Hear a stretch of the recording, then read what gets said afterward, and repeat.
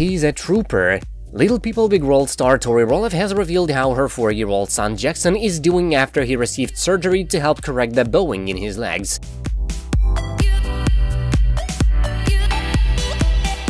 We're home and little man is doing better than we could ever have asked, Tori shared via her Instagram stories on Tuesday, November 30th.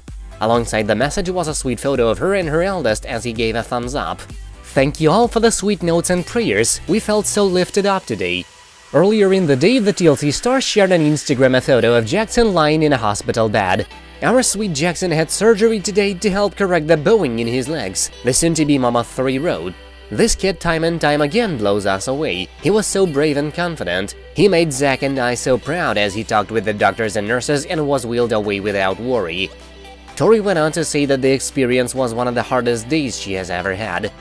Watching your child in pain is never something a parent wants to go through, however we are trusting his doctors and our Lord that this was the best decision for him.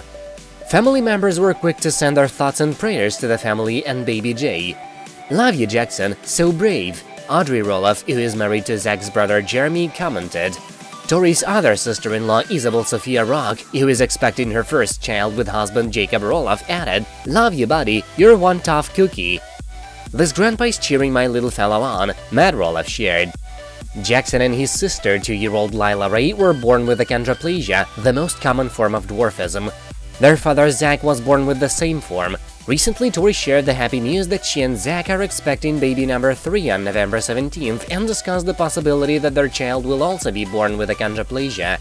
Bowed legs are a common side effect of achondroplasia, and both Tori and Zach have kept an eye on Jackson's growth.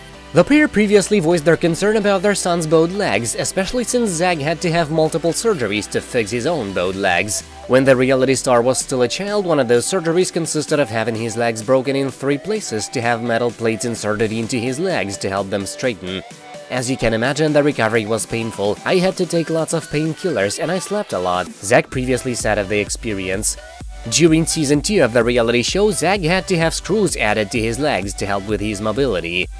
Naturally, the couple wanted to be proactive when it came to Jackson's health. During a previous episode of LPBW, they discussed how early action might lead to a better quality of life for their son.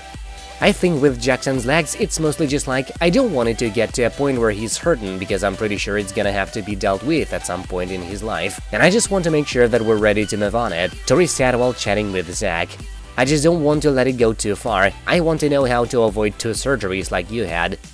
It's unknown what surgery Jackson received or what his recovery will look like, but it is certainly a good sign that he's at home recovering with his family. That's it for now, thank you for watching, please subscribe to stay tuned.